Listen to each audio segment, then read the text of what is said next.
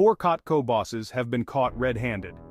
In a shocking development, the Zimbabwe Anti-Corruption Commission, ZACC, has arrested four COTCO employees, Crispin Guavuya, Albert Kanimbirira, Elvis Chakanetsa Nyamayaro, and Thomas Fukai stand accused of stealing 358 bags of fertilizer.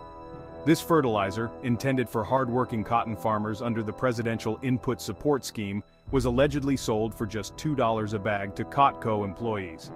The total sale garnered a mere $716, a far cry from the fertilizer's true value of over $19,000.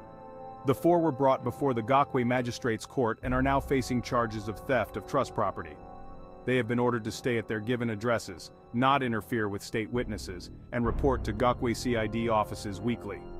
This scandal underscores the serious issue of corruption affecting vital agricultural support programs in Zimbabwe. Stay tuned for more updates on this developing story. Don't forget to like, subscribe and share this video to keep informed about crucial news impacting our community.